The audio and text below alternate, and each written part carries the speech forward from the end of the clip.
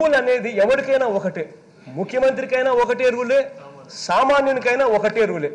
అదే illegal construction ఎవరైనా సామాన్యుడు గన చేసి ఉండింటే ఎవడైనా సామాన్యుడు గన ఒక రేకుల షెడ్ వేసుకుని ఉంటే ఇల్లీగల్గా రేకుల షెడ్ వేసుకుంటే గన గమనుంటారు అధ్యక్ష?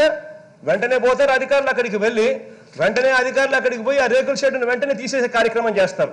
ఏమంటే సామాన్యుడు కాబట్టి. సామాన్యుడు కాబట్టి తీసేస్తారు. అదే అదే ఒక రేకుల షెడ్ వేసుకున్న సామాన్యునికి ఒక న్యాయము. అదే ముఖ్యమంత్రిగా ఉన్న వ్యక్తికి ఏకంగా ఇలా ఇల్లు కట్టుకొని చూడధ్యక్ష ఒకసారి అఫ- ఒక్కసారి అందరినీ కూడా చూపిస్తా ఉన్నాను అధ్యక్ష.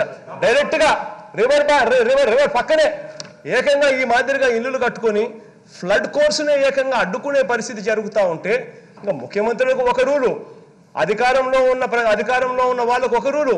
చివరికి ప్రతిపక్షంలో చంద్రబాబు నాయుడు గారు అయితే ఆయనంతటా ఆయన నలభై ఏళ్ళ ఇండస్ట్రీ అంటాడు నలభై ఏళ్ళ ఎక్స్పీరియన్స్ అంటాడు నలభై ఏళ్ళ రాజకీయ జీ- రాజకీయ చరిత్ర అంటాడు. ఏంది అధ్యక్ష రాజకీయ చరిత్ర? ఒక నలభై ఏళ్ళు వయసులో రాజకీయ చరిత్ర ఉంటే నలుగురికి రోల్ మోడల్గా ఉండాలి. ఆ రాజకీయ చరిత్ర నలుగురు చూసి అలాంటి నాయకుడు మా నాయకుడు అని చెప్పుకునే పరిస్థితిలో ఉండాలి. కానీ ఈ మాదిరిగా అధికారంలో ఉన్న వ్యక్తులే రూల్స్ మాకు మాకు పాటించవు.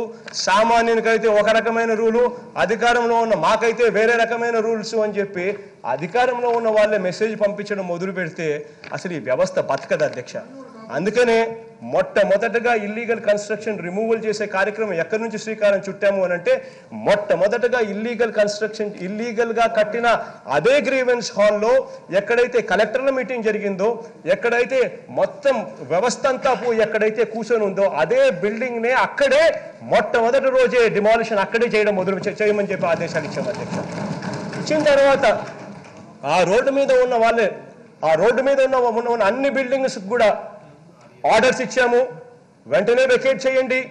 వెకేట్ చేయకపోతే ఈ బిల్డింగ్స్ కూడా డిమాలిష్ చేయబడతాయని చెప్పి చెప్పాం.